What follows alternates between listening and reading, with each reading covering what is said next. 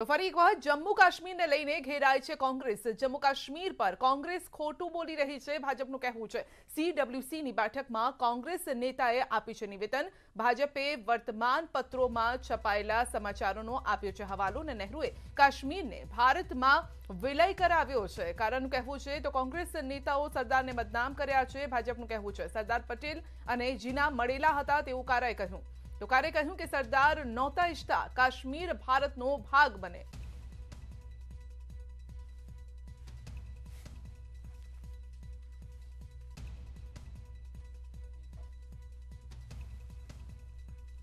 कि तारिक हमीद कारा ने यह भी कहा कि इस पूरे प्रयोजन में सरदार पटेल जिन्ना के साथ मिले हुए थे और जिन्ना के साथ मिल करके कश्मीर को हिंदुस्तान से अलग रखने की चेष्टा पटेल कर रहे थे। वहीं केवल और केवल पंडित जवाहरलाल नेहरू के कारण ही आज जम्मू कश्मीर हिंदुस्तान का हिस्सा है।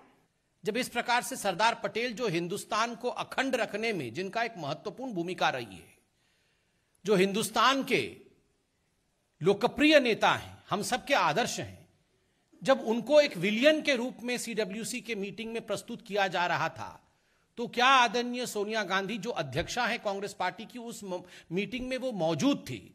राहुल गांधी उस मीटिंग में मौजूद थे? क्या यह प्रश्न उनके तरफ़ से उठा कि इस प्रकार से कारा साहब को नहीं कहना चाहिए पटेल जी के लिए?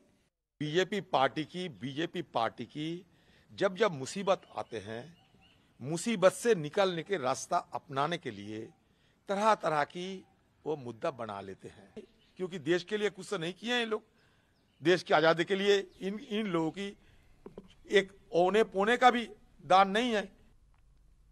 સુરતના માંડવીના ધારાસભ્ય આનંદ ચૌધરીએ રોડ પર ચક્કાજામ કરીને વિરોધ નોંધાવ્યો છે. ખરાબ રસ્તા મામલે તેમણે માંડવીના તટકેશ્વર ટોલનાકા નજીક વિરોધ પ્રદર્શન કર્યું છે. કી માંડવી રાજધોરી માર્ગ પર ઠેર ઠેર ખાડા પડ્યા છે વર્ષ બે હજાર દસમાં માર્ગનું સમારકામ કરવામાં આવ્યું હતું. ત્યારબાદ માર્ગનું નવીનીકરણ નહીં થતા ધારાસભ્યમાં રોષ જોવા મળી રહ્યો છે. વિરોધ કરતા ધારાસભ્ય આનંદ ચૌધરી સહિત પચાસ જેટલા લોકોની પોલીસે અટકાયત કરી.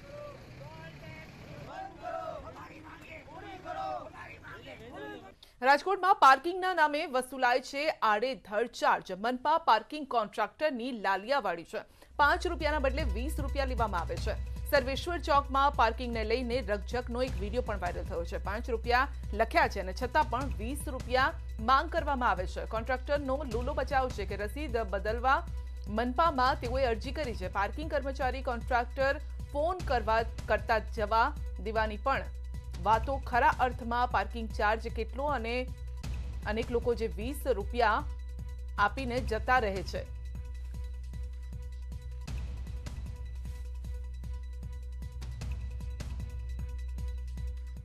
ટેન્ડર ઉપર આવતું હોય. આની પહેલા હાલો, બતાવો મને. આની પહેલા જેનું હતું ને એમને બતાવો તો ખરી મને. પણ અહીંયા હું તમને એમને કહી દઉં. કેટલા રૂપિયા છે? વીસ રૂપિયા પાર્કિંગ ચાર્જ અમારું બરાબર? એ બોર્ડ પ્રમાણે અમે નથી લેતા. આરામથી અમે ફરિયાદ કરી છે અરજી કરી દઈએ બોર્ડ બદલવાની. એમને કાલે અરજી કરી એટલે આજકાલમાં બદલી ગયા કાલે અરજી કરી કેમ? હા. તો અમે પાંચ જ દેશું તમને. પાંચ પાંચથી રૂપિયામાં કાંઈ ન કાંઈ નહીં જે લખ્યું એ દેશું અમે.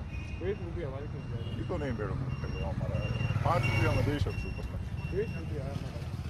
પાંચ રૂપિયા લખેલા છે તમે વીસ કેવી રીતે એ ક્યારની ગાડી પડી છે વીસ રૂપિયા આપવાના. અરે વીસ મિનિટ થઈ જ તો. દસ પંદર મિનિટ હોય કેટલા વીસ દિવસ બધા પાસેથી તમારે નીકળે એમાં અમે શું કરીએ? રિક્ષા ચાલતું હોય તો જ અમે મિનિમમ અહીંયા લખ્યા હોય એ જોઈએ ને તો તમે વાત કરો. અમારું હેડ નહીં રહે ને વાત કરી દો વાલીઓ. કોની યાર કરો? જેનું હોય એનું વાત હા કોનું છે કેમ કરતો હોય? કેતનભાઈ. કેતનભાઈ કેવા? રતન લોકો બેરે જ દો. નહીં મારે આરામથી વાત કરવી તો તમે કીધું આરામથી નું છે આ ટેન્ડર આ તો આરામથી હોય અરજી કરો અહીંયા જઈને કે વીસ રૂપિયા લઈએ હાલ્યો ના પણ એ વાત નથી વીસ રૂપિયા હલો આ મોટા ભાઈ કે ગાડી મૂકી હું આવ્યો ત્યાંની અહીંયા ખૂણા ઉપર. અને મોટા ભાઈ કે પાંચ પંદર વીસ મિનિટ જેવું પાંચ રૂપિયા દેવાના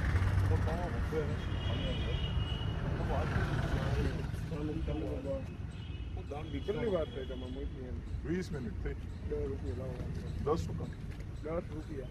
દસ શું કામ પણ. દસ રૂપિયા? પાંચ લખ્યા છે. પાંચ લઈ ગયા તો પાંચ જ દે ને ભાઈ એક કલાક નથી. વીસ મિનિટ અમારું નથી. તો. કોનું છે? એ મારે થોડું જોવાનું અમારે આ જોઈને. એ મોટા ભાઈ ટેન્ડર ઉપર આવે છે. તો વાયરલ વીડિયો મુદ્દે મેયરનું નિવેદન છે કે જવાબદારો સામે કડક કાર્યવાહી કરાશે. પાર્કિંગમાં વધુ રૂપિયા લેવાનો વીડિયો જે વાયરલ થયો છે તે મુદ્દે નિવેદન આપ્યું છે. ગઈકાલે જે વીડિયો વાયરલ થયો, એમાં કોઈ પાર્કિંગ એજન્સીના કર્મચારી દ્વારા પાંચ રૂપિયાનો જે પાર્કિંગ ચાર્જ હતા, એમના બદલે વીસ રૂપિયાની ડિમાન્ડ કરે છે. જ્યારે નિયમ મુજબ એમને પાંચ રૂપિયા જ આપવાના થતા હોય છે. પણ નિયમનો ભંગ કરીને પોતે વધારાની જે વીસ રૂપિયા ડિમાન્ડ કરે છે એ સ્વાભાવિક છે, નિયમ વિરુદ્ધ છે. અને નિયમ વિરુદ્ધની એમની જે ડિમાન્ડ કરેલી છે, માટે થઈને એ કર્મચારી અને એજન્સી ઉપર ચોક્કસ પગલાં લેવામાં આવશે. વડોદરામાં સફાઈ કામદાર પર સ્થાનિક લોકોનો હુમલો છે. હુમલાની ઘટના સીસીટીવીમાં કેદ થઈ છે. તો હુમલાના વિરોધમાં સફાઈ કામદારો પોલીસ મથકે પહોંચ્યા હુમલાખોરો સામે કડક કાર્યવાહીની માંગ કરી છે વડોદરા શહેરના ગણેશનગર ખાતે આજે સવારે ગટરની સફાઈ કરવા ગયેલા સફાઈ કામદાર ઉપર સ્થાનિક લોકોએ હુમલો કર્યો હતો સીસીટીવી ફૂટેજના આધારે પાણીગેટ પોલીસે બે આરોપીઓની અટકાયત કરી કાયદેસરની કાર્યવાહી હાથ ધરી છે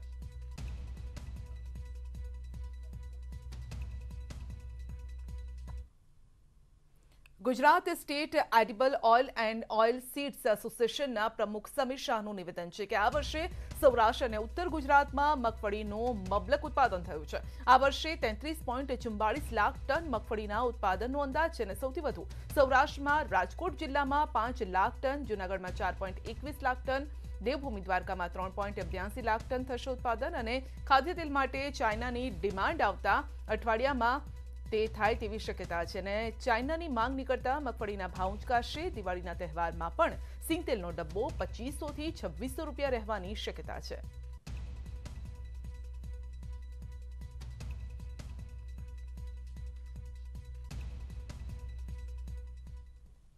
ઈદે મિલાદ અંગેના જાહેરનામામાં ફેરફાર થયો છે રાજ્ય સરકારની ગાઈડલાઈનમાં સુધારો કરવામાં આવ્યો છે ઈદની ઉજવણીમાં ચારસો લોકો એકઠા થઈ શકશે જુલુસ કાઢવો હશે તો માત્ર પંદર લોકોને જ મંજૂરી આપવામાં આવી છે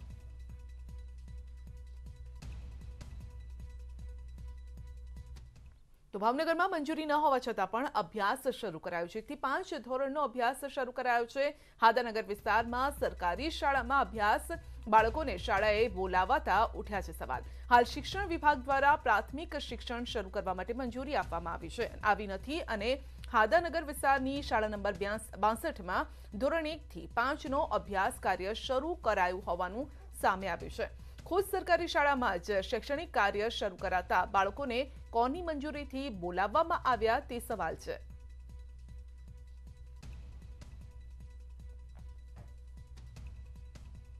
તો સવાલ એ છે કે કોની મંજૂરીથી આ બાળકોને બોલાવવામાં આવ્યા છે? હજુ કોરોના પૂરેપૂરી રીતે ગયો નથી અને સરકાર તરફથી કોઈ જ પ્રકારની આવી વાત પણ નથી કરવામાં આવી, ને મંજૂરી આપવામાં આવી છે. તો પછી આ બાળકોને શાળાએ કોણે બોલાવ્યા? બાળકોના સ્વાસ્થ્યની જવાબદારી કોણ લેશે? કારણ કે છેલ્લા દિવસોમાં જોવામાં પણ આવ્યું છે કે બાળકોમાં કોરોના જોવા મળ્યો છે.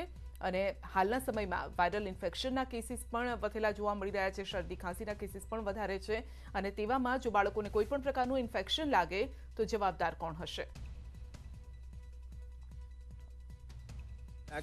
બેટા કેટલામાં ભણસ? અરે સ્કૂલે આવો આવી હતી સ્કૂલે આવી હતી કેદી બોલાયા હતા તમને? હે?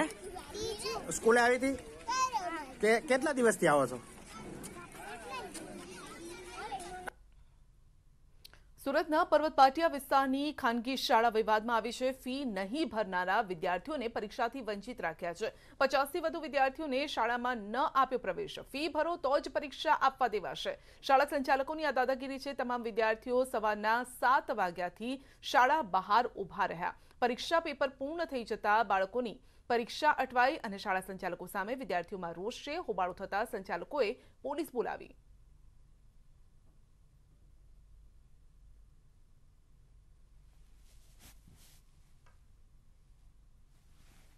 फ़ीस की वजह से हुई है। फ़ीस नहीं भरी इसलिए बच्चों को एग्ज़ाम के दिन बाहर निकाल दिया। आज एग्ज़ाम थी आठ बजे की उससे पहले ही बच्चों को बाहर निकाल दिया। अब हाँ हमको कभी बोला ही नहीं फ़ीस के बारे में। अब पहले बोल देते तो हम पहले ही दे देते ना फ़ीस। फ़ीस बाकी थी और क्या बोले? फ़ीस सर तीन महीने की बाकी है। अगली साल की तो हमने पूरी पूरी फ़ीस चालीस हज़ार भरी है। અને વાત કરીશું સૌરાષ્ટ્ર યુનિવર્સિટીના વિવાદની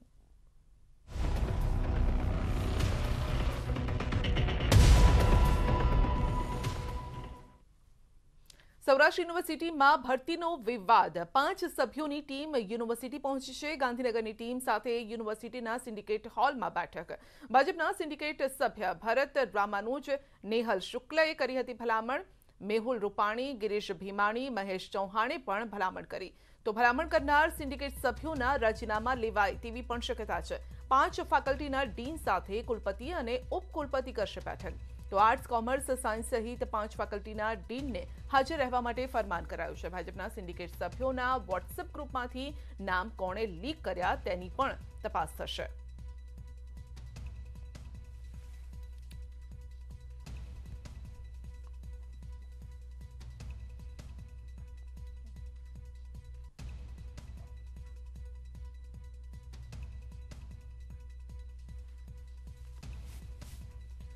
તો રાજકોટમાં સૌરાષ્ટ્ર યુનિવર્સિટીના ભરતીનો આ વિવાદ છે પાંચ સભ્યોની ટીમ યુનિવર્સિટી પહોંચી છે ગાંધીનગરની ટીમ સાથે યુનિવર્સિટીના સિન્ડિકેટ હોલમાં બેઠક પણ થઈ ભાજપના સિન્ડિકેટ સભ્ય ભરત રામાનુજ નેહલ શુક્લએ કરી હતી ભલામણ મેહુલ રૂપાણી ગિરીશ ભીમાણી મહેશ ચૌહાણે પણ ભલામણ કરી અને ભલામણ કરનાર સિન્ડિકેટ સભ્યોના રાજીનામા લેવાય તેવી શક્યતા છે પાંચ ફેકલ્ટીના ડીન સાથે કુલપતિ ઉપકુલપતિ બેઠક કરશે આર્ટ્સ કોમર્સ સાયન્સ સહિત પાંચ ફેકલ્ટીના ડીનને હાજર રહેવા માટે ફરમાન છે ભાજપના સિન્ડિકેટ સભ્યોના વોટ્સએપ ગ્રુપમાંથી નામ કોણે લીક કર્યા તેની પણ તપાસ થશે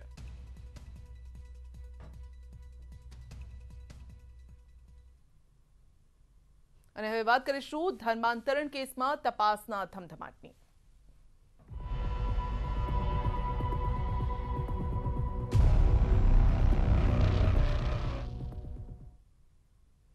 ધર્માંતરણ અને ફંડિંગ કેસમાં મોટો ખુલાસો થયો છે સલાઉદ્દીન ઉમરને ધર્માંતરણમાં એકસો પચાસ કરોડથી વધુ વિદેશી ફંડ મળ્યું છે તો યુપી પોલીસની તપાસમાં ઘટસ્ફોટ થયો છે સલાઉદ્દીન ઉમર અમેરિકા બ્રિટનથી ફંડ મેળવતા હતા અને પાંચ વર્ષમાં પાંચ વર્ષમાં ઉમરની સંસ્થાને વિદેશમાંથી ત્રીસ કરોડ મળ્યા છે ત્રીસ કરોડમાંથી સાહીઠ ટકા રકમ ધર્માંતરણ પાછળ ખર્ચાય છે મહારાષ્ટ્રના પ્રકાશ કાવડે ઉર્ફે એડમને બ્રિટનમાંથી મળ્યું હતું દાન અને બ્રિટનની સંસ્થા પાસેથી સત્તાવન કરોડ ધર્માંતરણ માટે મળ્યા છે.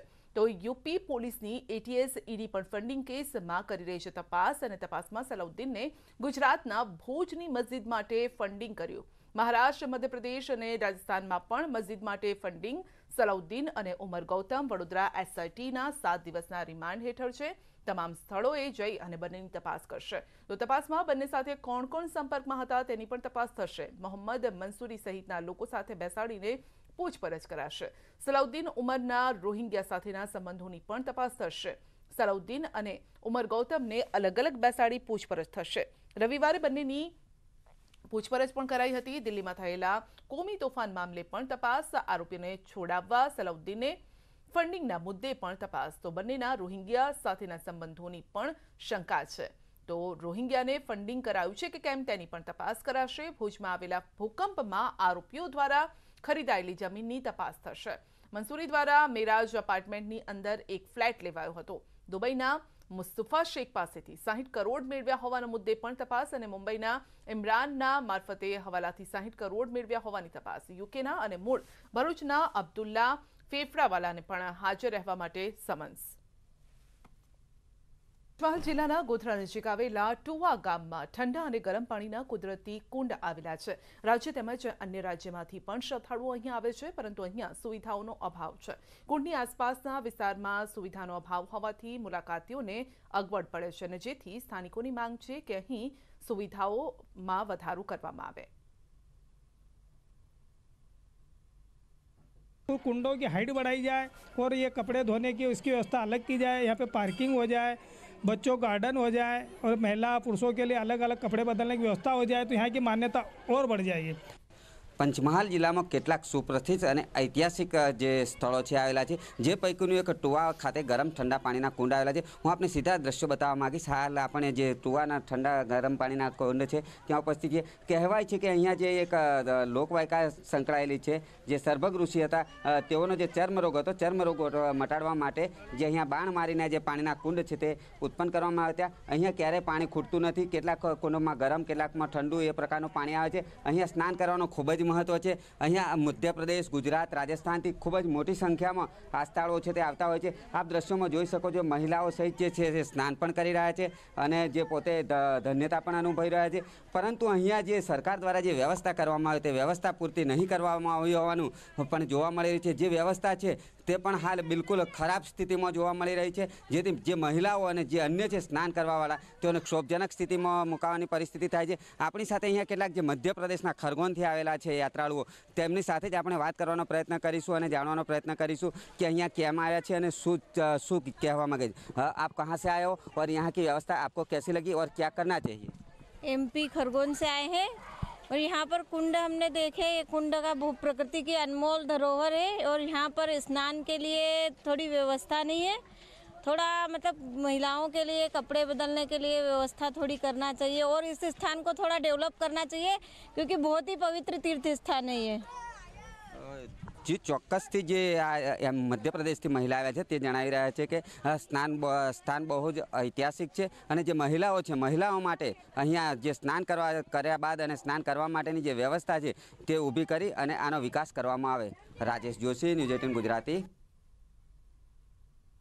PM Narendra મોદીએ સત્તા સંભાળ્યા અને વીસ વર્ષની ઉજવણી પ્રસંગે રાજકોટ ભાજપ દ્વારા કાર્યક્રમ હાથ ધરવામાં આવ્યો અને સીએમ અને પીએમ પદે મળી નરેન્દ્ર મોદીને વીસ વર્ષ થયા છે, જેની ઉજવણીનો રાજ્ય ભાજપનો કાર્યક્રમ હતો અને જેની હેઠળ રાજકોટ ભાજપ દ્વારા પંચોતેર હજાર પોસ્ટકાર્ડ લખાવી મોકલવામાં આવ્યા. રાજકોટ હેડ પોસ્ટ ઓફિસે આ કાર્યક્રમ યોજાયો હતો અને જે દરમિયાન શહેર ભાજપના આગેવાન કાર્યકરો મોટી સંખ્યામાં આ પહેલમાં જોડાયા.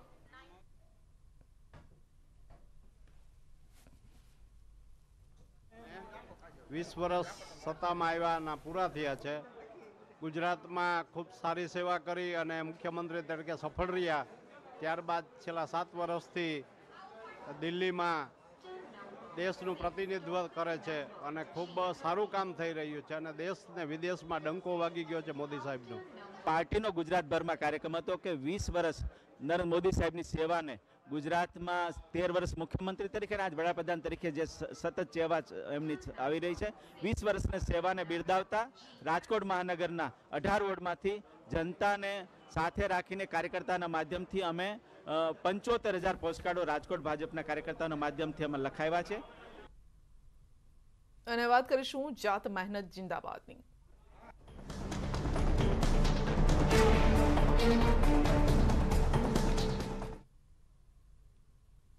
જાત મહેનત જિંદાબાદ આ ઉક્તિને સાર્થક કરે છે ગીર સોમનાથના એક નાનકડા ગામે ગીર સોમનાથના ઉમેજ ગામની દાયકાઓ જૂની સમસ્યા ગામ લોકો ચાર વર્ષથી જાતે જ ઉકેલી રહ્યા છે ગામની વચ્ચે પસાર થતી રાવલ નદી પર પુલ બનાવવા તંત્રને દાયકાઓથી રજૂઆત કરી પણ બહેરાકાને વાત અથડાઈને પાછી આવતી હતી અને આખરે ગ્રામજનોએ અપનાવ્યો જાત મહેનતનો માર્ગ સમસ્યાઓનું નિરાકરણ લાવવા માટે ગ્રામજનોએ જાતે જ પુલ બનાવી નાખ્યો અને આ ગામની સાહીઠ ટકા જેટલી વસ્તી રાવલ નદીના સામે કાંઠે વસવાટ કરે છે તો ગામના મોટા ભાગના ખેડૂતોની જમીન પણ રાવલ નદીના સામે કાંઠે જ આવેલી છે દાયકાઓ વીતી ગયા પણ આ ગામની મુખ્ય સમસ્યાનું નિવારણ ન આવ્યું ચોમાસું શરૂ થાય અને આ ગામના લોકો માટે રાવલ નદી સમસ્યા બની જતી હતી તો ગામના અનેક લોકો ઘણા લાંબા સમયથી નદી પર માત્ર બેઠો પુલ બનાવવાની માંગ કરી રહ્યા હતા પરંતુ આ ગામની રાવલ નદી પરની ફાઇલ એક ઓફિસથી બીજી ઓફિસમાં બસ ફર્યા કરતી હતી પુલ નહોતો બનતો આખરે ગામ લોકોએ જાતે જ મહેનત કરી અને બેઠો પુલ બનાવ્યો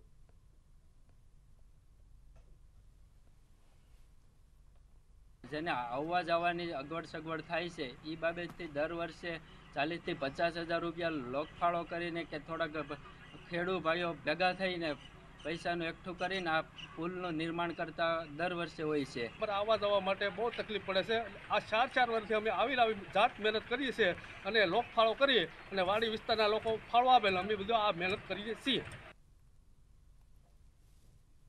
મુશ્કેલીના પહાડ વચ્ચે છેલ્લા ચાર વર્ષથી ગામના લોકોની ધીરજ ખૂટી અને નદીના ધસમસતા પ્રવાહમાં જાત મહેનત જિંદાબાદથી નદી પાર જવા માટે રસ્તો બનાવવાનું નક્કી કર્યું ચોમાસાના ચાર મહિના રાવલ નદીમાં સતત પાણી વહેતું હોય છે આ નદી ઉપર પુલ ન હોવાના કારણે ઉમેજ ગામે વાડી વિસ્તારમાં રહેતા સાહીઠ ટકા જેટલા ખેડૂતોને ગામમાં જીવન જરૂરિયાતની ચીજવસ્તુઓ લેવા માટે પણ જીવના જોખમે નદી પાર કરવી પડે છે ચોમાસા દરમિયાન બાળકો શાળાએ પણ જઈ શકતા નથી અને ત્યારે રાવલ નદી પાર કરી વાડી વિસ્તારના લોકો ખેડૂતો ગામમાં જઈ શકે તે માટે ચાર ચાર વર્ષથી ઉમેજ ગામના લોકો લોકફાળો કરી જાત મહેનતે નદી પાર કરી શકાય તેવો રસ્તો મોટા મોટા પથ્થર તેમજ પાઇપ નાખી અને કાચા પુલ જેવો રસ્તો તૈયાર કર્યો તો લોકોએ આવવા જવા માટે નદીમાં રસ્તો તો બનાવ્યો પરંતુ તંત્ર જો આ લોકોને વહેલી તકે પુલ બનાવવાની બનાવી આપે તો ગામના લોકોની કાયમી સમસ્યા દૂર થાય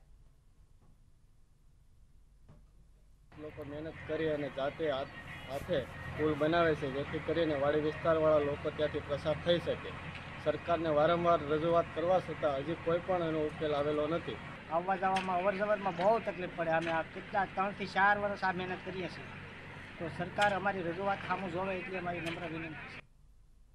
સફળતાની કોઈ કહાની એક દિવસમાં નથી બનતી પરંતુ ઈમાનદારી ધગશ અને સાચો સંઘર્ષ હોય તો સફળતાની કહાની એક દિવસ પૂરી જરૂર થાય છે દેશમાં શ્વેત ક્રાંતિ એટલે કે દૂધ ક્રાંતિ લાવનારા અમૂલની સફર ગુજરાતના ફક્ત બે ગામડાથી શરૂ થઈ પંચોતેર વર્ષનું થઈ ગયેલું અમૂલ પણ સમગ્ર દેશ સાથે આઝાદીના અમૃત મહોત્સવની ખુશી મનાવી રહ્યું છે અને આવો તમને મળાવીએ અમૂલની સફળતાના સોનેરી ઇતિહાસ સાથે